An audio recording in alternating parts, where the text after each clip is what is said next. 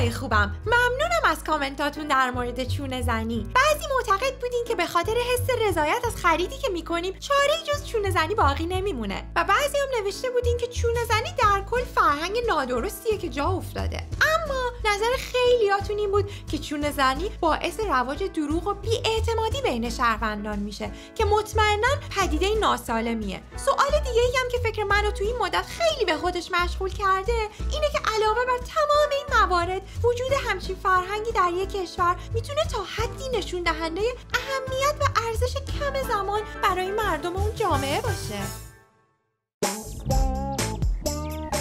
امروز می‌خوام یه ماجرای هیجان انگیز براتون تعریف کنم. چند شب پیش مقاله در مورد سفر به زمان خوندم. مقاله جالبی بود اما از اون جالبتر خوابی بود که درباره این موضوع دیدم. می‌دونین که من همیشه نگران محیط زیستم امیرعلی! این شکلی کردی؟ این این ماشین زمانه. دستگاه سفر به آینده است. واقعا؟ کار می‌کنه؟ معلومه که کار می‌کنه. می‌خوای امتحان کنی؟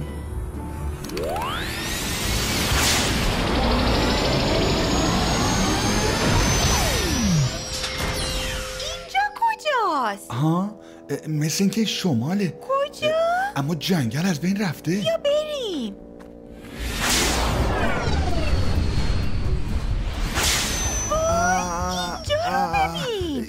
ماشینا رو وای اینا فروشی هن؟ بله با قیمت مناسب فقط یه میلیون دلار؟ نه تومن این ماشینا بنزینی هن. سوختشون هم موجوده یه لیتر یه میلیون تومن؟ نه عزیزم دلار بنزین دیگه وجود نداره بریم اون درخت و امیرعلی چه باشکوهه نوشته درخت دیجیتال شبیه سازی شده به آخرین درخت چنار آخرین درخت پس اکسیژن چطوری تولید میشه؟ آخر و زمونه. هیچ کاری نمیشه کرد.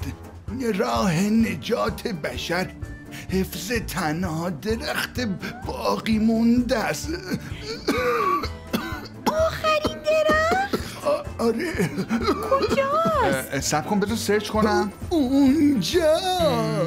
اون ور تو محله خودتونه. اون سوی.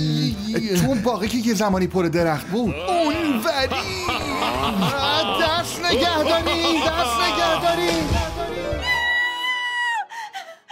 کابوس وحشتناکی بود. هزاران درخت به خاطر ساخت و ساز بیرویه آدم های سوجو خشک شدن. نسلهای آینده چطوری نفس بکشن؟ بیاین آینده رو حفظ کنیم. نظرتون رو برام بنویسید.